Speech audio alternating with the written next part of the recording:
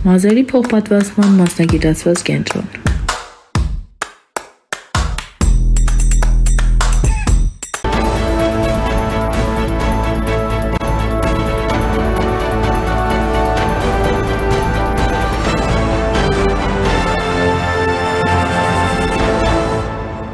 Առաջին լրատվականը շարունակում է աշխատել արտակարգ ռեժիմում ուղիղ եթերում բարև ձեզ։ Այսօր վարչապետ Նիկոլ Փաշինյանը ուղերձ է հղել նշել, թե վերջին տարիներին Հայաստանի դեմ Ադրբեջանի ձեռնարկած հարձակումներն ակնհայտորեն եզրակացության են բերում, որ արտաքին անվտանգության այն համակարգերը, որոնցում ներգրավված են, կարծունավետ չեն Հայաստանի պետական շահերի եւ անվտանգության տեսակետից։ Նիկոլ Փաշինյանի խոսքով Հայաստանն իր դաշնակիցներին երբեք չի դավաճանել, բայց իրադարձությունների վերլուծությունը ցույց է տալիս, որ անվտանգության այն համակարգերը եւ այն դաշնակիցները, որոնց վրա մենք երկար տարիներին հույս ենք դրել, մեր խոցելիությունը ի ցույց դնելու եւ հայ ժողովրդի անկախ պետությունը անհնարինությունը հիմնավորելու խնդիր են դրել։ Հյուրը ազգային ժողովի տարածաշրջանային եւ եվրասիական ինտեգրման հարցերի մշտական հանձնաժողովի նախագահի տեղակալ ազգային ժողովի քաղաքացիական պայմանագիր խմբակցության падգամավոր Վաղարշակ Հակոբյանն է։ Պարոն Հակոբյան, բարև ձեզ։ Շնորհակալ եմ հրավերն ընդունելու համար։ Պարոն Հակոբյան, երբ հերթական անգամ հայ-ռուսական հարաբերությունները լարվում էին parberabar այս վերջին տարիների ընթացքում, կամ հայաստանյան իշխանությունները այսպես տարբեր հայտարարություններ էին անում գուցե դուք ի պաշտոն է, բայց փորձում եք այդ լարված հայտարարությունները մի փոքր մեղմել։ Հիմա վարչապետը ըստ էության այսօրվա ուղերձով այլևս չթակցրեց, ասաց որ Հայաստան Հայաստանը երկկողմ բազմակողմ պայմանագրեր է ունեցել, որոնք ըստ էության չեն աշխատել եւ ըստ էության ոչ էլ Արցախում այլևս ռուս խաղաղապահներն են կարողանում իրենց առաքելությունը իրականացնել եւ տեսնում ենք նաեւ Ռուսաստանի կողմից եկող բաց եւ ըստ էության նաեւ ցինիկ հայտարարություններ դիվանագիտական կոռեկտությունն է վերջին մի քանի օրերի կամ շաբաթների ընթացքում ոչ մեկ անգամ ոտնահարվել մենք տեսնում ենք որ Ռուսաստան պատերազմ է հայտարարել Հայաստանի ինքնիշխանությանը հիմա ինչ կասեք գիտեք, այն խնդիրները, որ արկա են մեր անվտանգային համակարգի հետ կապված, դա այսօր չէ, որ Հայաստանի Հանրապետության վարչապետը առաջին անգամ բարձրաձայնել է։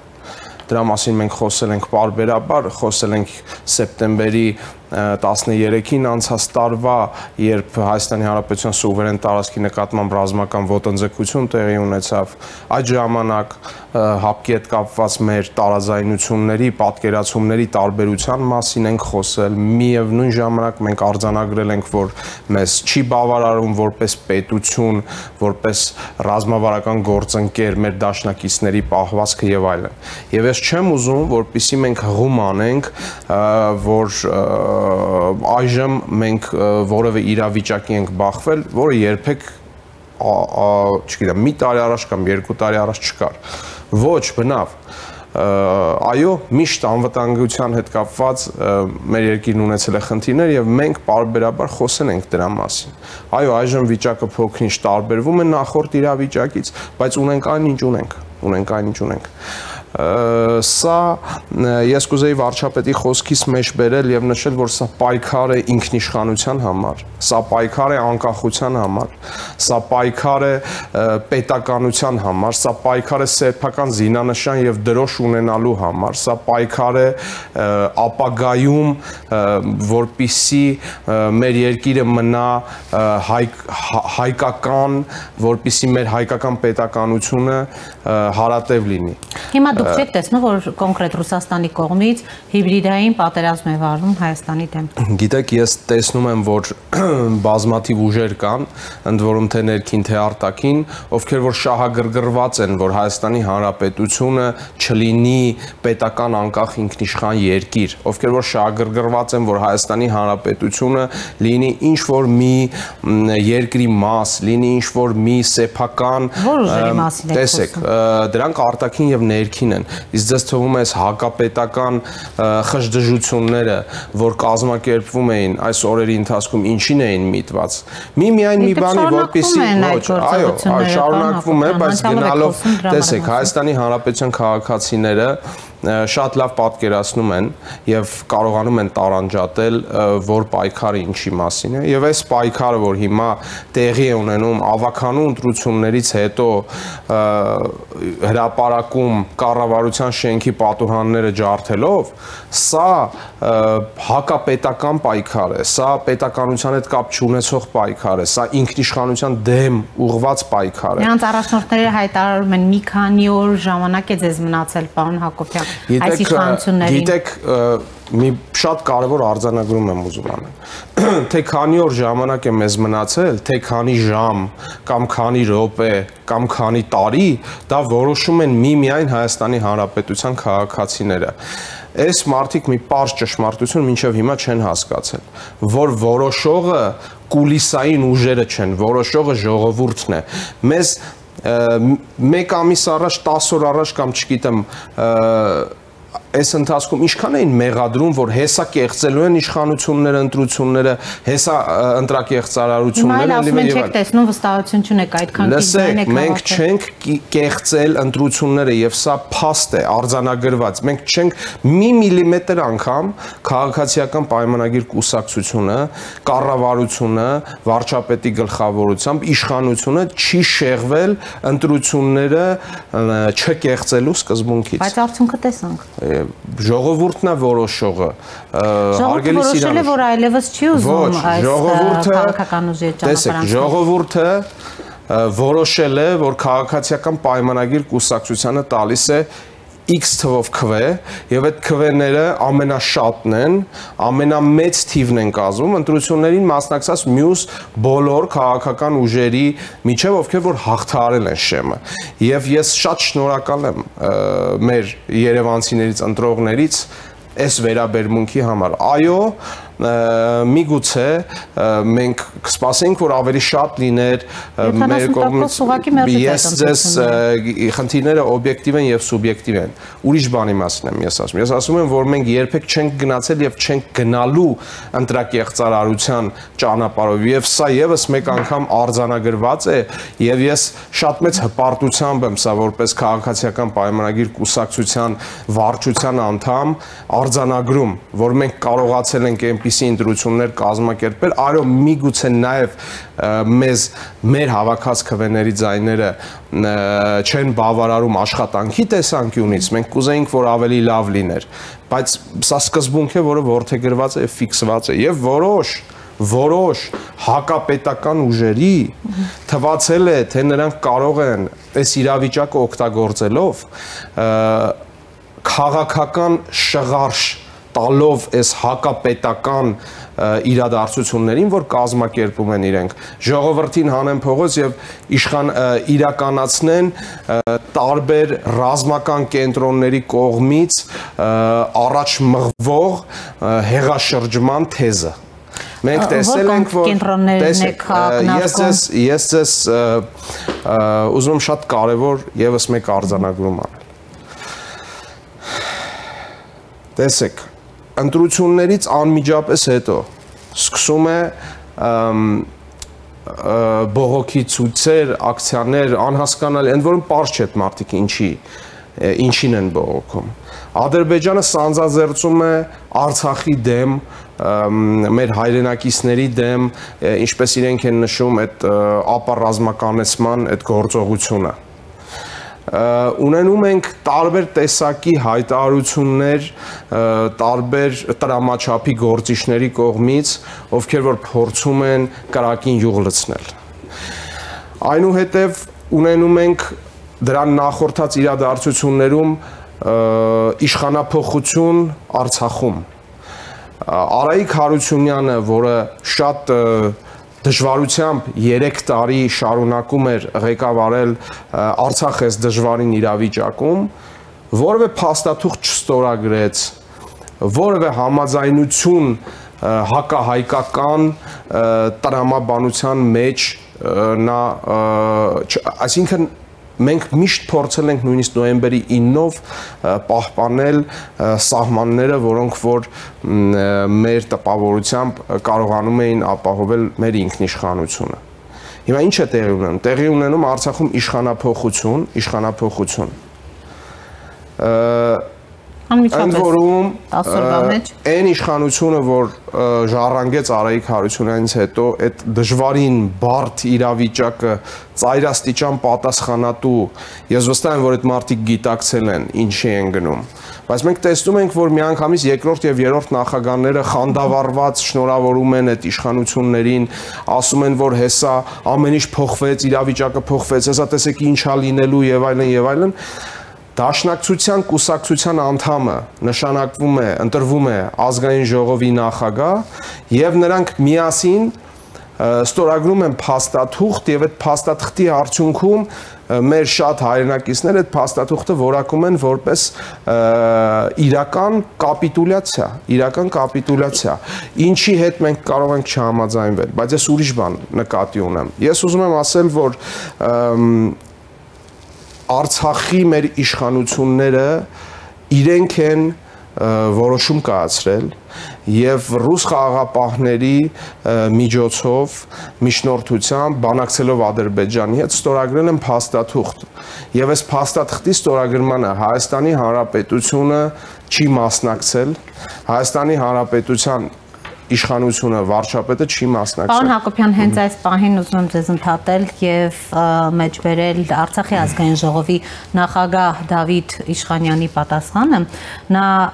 նշել է, որ Նիկոլ Փաշինյանը այդ հայտարարության տեքստին, այո, նախորդ տեղյակ է եղել անտեղի շահարկումներից խուսափելու համար եւ բանսարկություններից ու հերյուրանքներից ձերծ մնալու նպատակով ցանկանում եմ տեղեկացնել, որ Ադրբեջանի կողմից իրականացված սեպտեմբերի 19-ի ռազմական գործողությունների առաջին իսկ պահից վարչապետը տեղյակ է եղել բոլոր գործընթացներից ու զարգացումներից, առավել եւս զինադադարի գին հանդիսացող Արցախի հանրապետությունը քննարկման նյութ է եղել եւ հայտարարության տեքստային տարբերակին նախորոք ծանոթ է եղել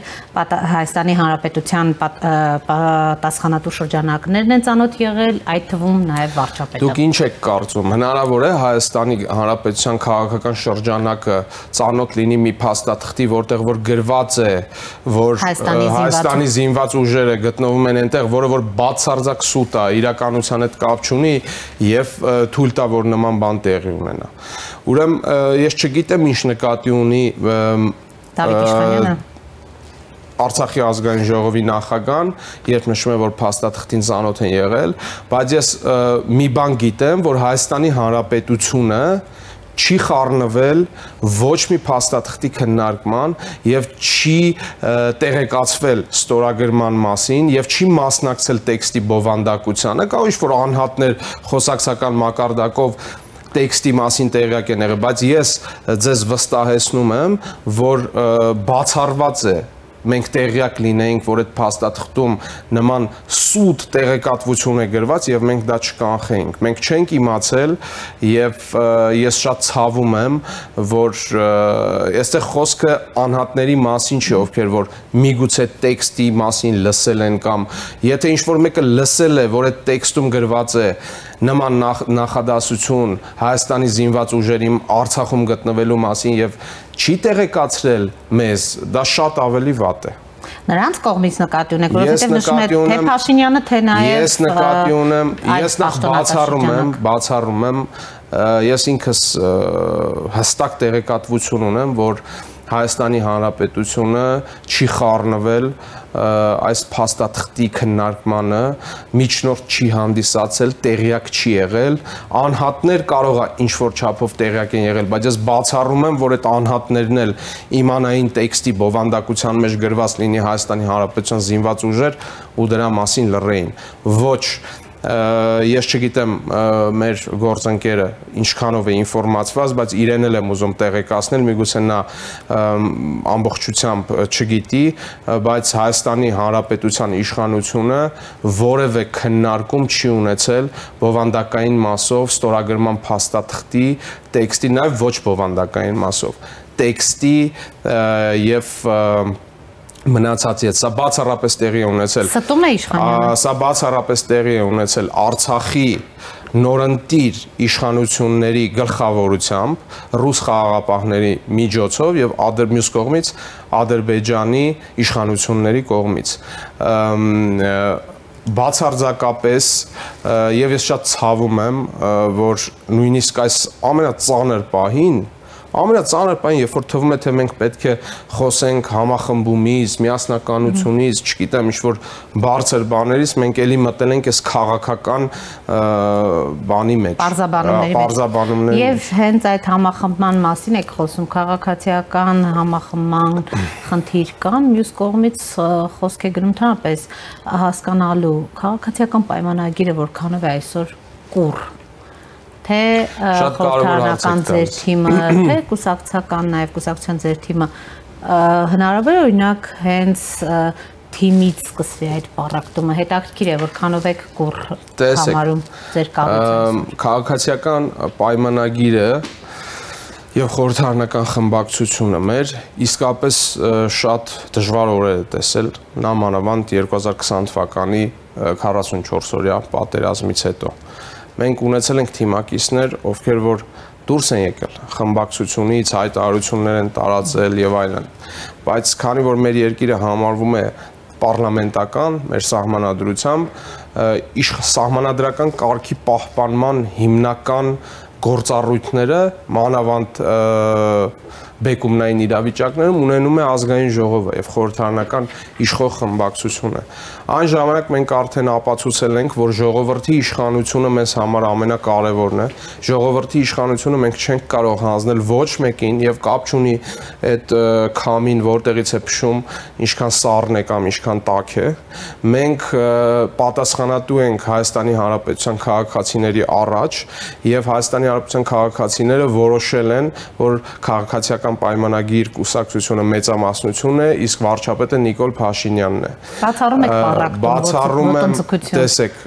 ես ինչի նշեցի, մենք ինչի ինչով ենք անցել, որովհետև մենք արդեն այսպիսի բաներ շատ ենք տեսել եւ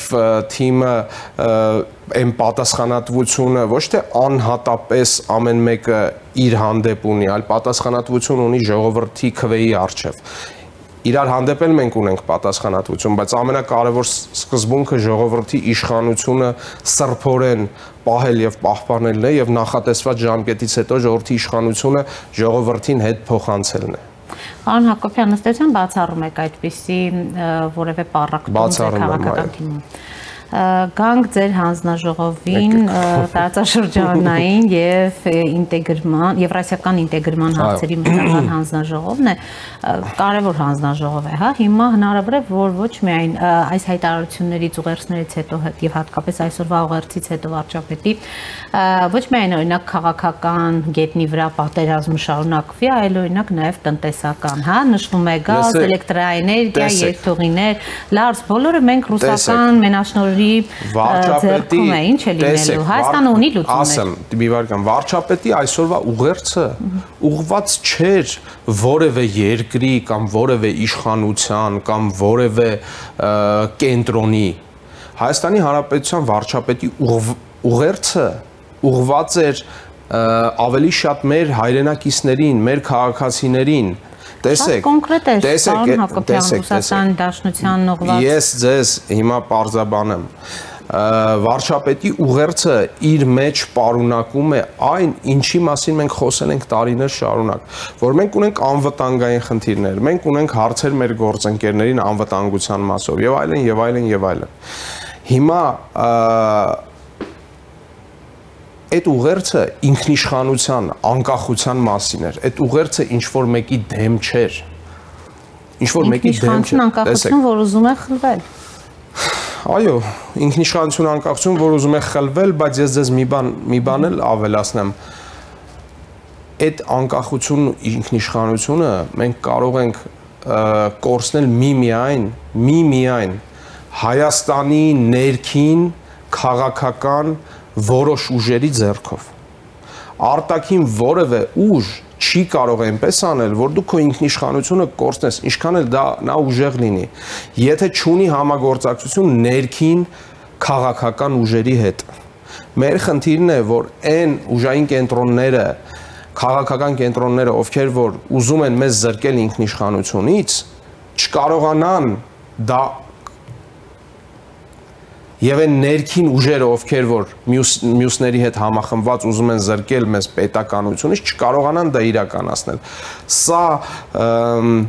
Նաև Հայաստանի Հանրապետության քաղաքացիների պահանջն է, որովհետև հակառակ դեպքում այսօր հրաապարակներում 100 հազարավոր մարդիկ կլինեին եւ կասեին այո, մենք ուզում ենք լինել որևէ երկրի մաս եւ մենք չենք ուզում լինել ինքնիշխան եւ չենք ուզում ունենալ պետականություն։ Այսինքն հատվածը, որը հավաքվել է հրաապարակում, չի ուզում ունենալ ինքնիշխանություն, այլ ուզում է որևէ երկրի ծայրագավառ։ Ոչ, հատվածը, որ հրաապարակում օժանդակում է քաղաքական որոշ շրջանակներին, նրանց մեջ շատ ազնիվ եւ արդար մարդիկ կան, նրանց իրեք 30 տարի շարունակ այն ուժերը, որ այսօր ընդդիմություն են, ժամանակին իշխանություն են եղել, մոլորեցրել են ժողովրդին։ Ես չեմ ասում այնտեղ մարդիկ մոլորված են եւ այլն, բայց ես ասում եմ, որ այնտեղ շատ ազնիվ մարդիկ կան, ովքեր որ հետևում են իրադարձություններին, փորձում են ճշմարտությունը ողրզել, բայց այո, նրանց կողքին կան ուժեր, որոնք անհատներին ուղղորդում են անհատներին ուղղորդում են հանցագործությունների, օրինակ Ինչ է նշանակում ջարդել կառավարության շենքի պատուհանները, վանկարկելով փրկում ենք Արցախը։ Սա որևէ տրամաբանության մեջ չի տեղավորվում։ Բայց այնտեղ մենք իսկապես բազմաթիվ ազնիվ, ազնվագույն մարդիկ ունենք, ովքեր որ ես վստահ եմ որոշ ժամանակ հետո չեմ ասում մոլորության մեջ են, փորձում են ողրել ճշմարտությունը եւ պետք չէ այդ մարդկանց մեղադրել։ Մարդիկ փորձում են ողրել ճշմարտությունը եւ այլ նրանք կպարզեն ճշմարտությունը, որովհետեւ այս քաղաքական կամ ապա կամ ավելի ճիշտ հակա քաղաքական առաջնորդները ժողովրդին հերթական անգամ Երևանի քաղաքում գաստրոլների հանելով չեն կարող այստեղ կառավարության շենքը ջարդելով, չգիտեմ, եսի ինչեր կազմակերպելով չեն կարող Արցախը փրկել։ Այդպես Արցախ չեն փրկում։ Արցախը կարող է ավելի ուժեղ լինել, եթե մենք լինենք միասնական, թե արտաքին ճակատում այն գործիչները, արտգործնախարարությունը, կառավարությունը, այլ պատկան մարմինները, ովքեր որ արտաքին ճակատում դիմադրում են մեր միասնական հակառակորդներին, այստեղ էլ մենք պետք է միասնական հանդես գանք, ինչը ցավոք սրտի որոշ մարդիկ փորձում են հանել վաճառքի։ Պարոն Հակոբյան, այսօր կանանց եւ երեխաների առաջին խումբը Լաչինի միջանցքով հասավ Հայաստան, պարզ է եւ հասկանալի, որ տնտեսական ահռելի ծանրություն են գնում Արցախից եկածներին պահելու, տեղավորելու ուղությամբ, ինչ է արվում այս ուղությամբ եւ կամ ինչ են կանելու։ Ուզում եմ նշել, որ Արցախի մեր հայրենակիցները, իրենք մեր քույրերն են, մեր եղբայրներն են, մեր մայրերն են, մեր հայրերն են, մեր տատերն են, մեր պապերն են, մենք պարտավորություն ունենք բոլորի հանդեպ բայց այդ պարտավորությունը չի սկսվում եւ ավարտվում այդ մարդկանց Հայաստան բերելով Ընթակառակը մենք պետք է մնանք Արցախում, մենք պետք է մեր հողի վրա լինենք, որտեղ որ հազարամյակներ, այո, շատ դժվար է, անասելի դժվար պայքար է բոլոր կողմերից մեզ խփում են, մեզ ճնշում են, բայց մենք պետքա փորձենք մնալ այդ հողի վրա։ Շատ հեշտ է այստեղից հայտարարություններ անել, ես համաձայն եմ, բայց մենք պետքա փորձենք մնալ այդ հողի վրա։ Մենք պետքա չթողնենք մեր պապերի գերեզմանները Արցախում մենք պետքա ամեն ինչ անենք, որպիսի մեր Արցախահայերը մնան Արցախում, մնան իրենց հողի վրա, մեր հազարամյա պատմությունը, որ այնտեղ կերտվել է, պետք է շարունակվի, որտեղ մեր հակառակորդների ուզացնել է այդ որ կան։ Հիշում եք այն կադրերը օթանավականի։ Մի քանի օր առաջ որ հրապարակվեց։ Խաղապահների մոտ էին գնացել։ Ուրեմն դա բացարձակ սուտ է, որ նշում էին, որ ուրեմն մարդկանց տարել են օթանավական, խապել տարել են օթանավական, նկարել են, այդ նկարները նկարները տարածում են այստեղ փորձելով Հայաստանի իշխանություններն մեղադրել, որ մենք փորձում ենք տեղափոխել, բայց դուք չեք Բայց դրա նպատակը ո՞րն է, որ ավելի շատ մարդ հավաքվի հրաապարակում, ավելի շատ մարդ ու խափեն, կարողանան խափել։ Այսինքն դա բացարձակ, բացարձակ իրականության հետ որևէ աղրս չունի ինչպես վարչապետը նշեց, մենք եթե parzvi որ անհնար է այնտեղ գոյակցությունը խաղաղ։ Իհարկե մենք պետք է ընդունենք, բայց դա պետք է չլինի պլան A կամ պլան B-ն կամ նույնիսկ պլանցեն, դա պետք է ամենավերջին ամենավերջին պլանը լինի։ Եվ մենք պետք է ամեն ինչ անենք։ Արել ենք աշխատանքներ, պարոն Հակոբյան նրանց ընդունելու ուղղությամբ բավարար Ես չեմ ուզում մեկնաբանել, բայց այո, չեմ ուզում դետալների մեջ մտնել, բայց այո, բայց այդ աշխատանքները իրենք պետք է առաջնային լինեն, բայց նաև առաջնային չլինեն, որտեղ առաջնայինը անել ամեն ինչ, որպեսզի